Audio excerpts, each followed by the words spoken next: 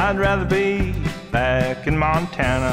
We think of the American West, one may remember film director John Ford, cowboy legend John Wayne, or Matt Dillon, and the music of the silver screen Roy Rogers or Gene Autry. I'd rather be But I'm Ben Stillwater. If you'd like to experience a part of the American West, saddle up and join us at the Branson Center stage for an exciting new cowboy chuck wagon breakfast show.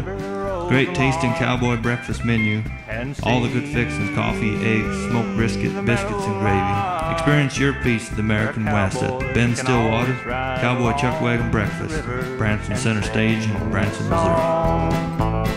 I'd rather be back